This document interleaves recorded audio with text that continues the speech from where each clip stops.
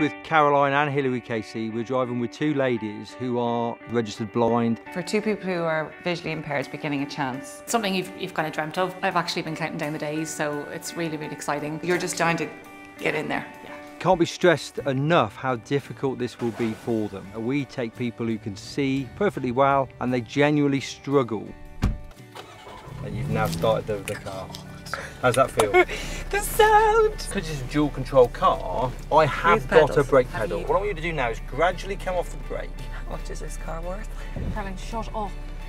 So Hilary and I both have a genetic condition called ocular albinism. We look like we can see really well, but put a pair of glasses on and put some Vaseline. I mean, that is our sight.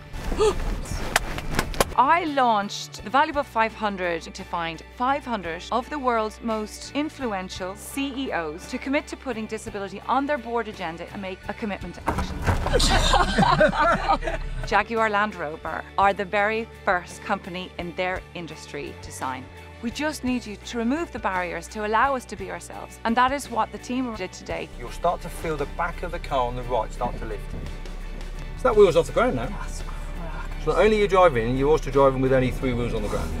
We ring each other up and cry very regularly. I'm having a bad eye day, and often it's about the lack of transport. So to see her today, loving every moment, was, yeah, made my heart burst a bit.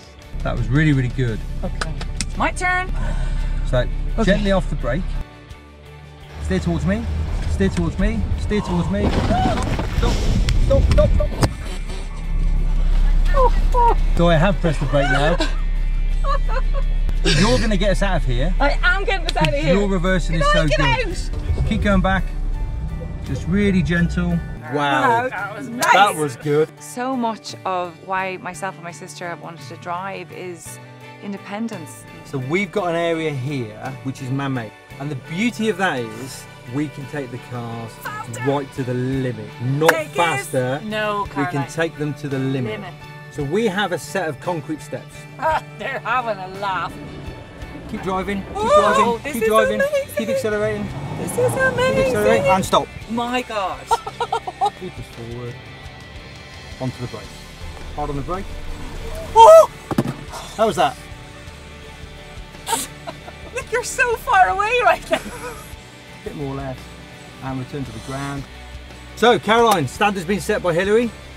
Gently into the water, slowly in, that's it. Look at this car. It is amazing. It is to me about the wind in my hair, the freedom. There's something about holding that speed in your hand, you know? I feel like an insider rather than an outsider now. That's the best way I can describe it. Part of the club. Yeah. All we need to do in the world is take away the barriers and give people a chance and just to believe in them.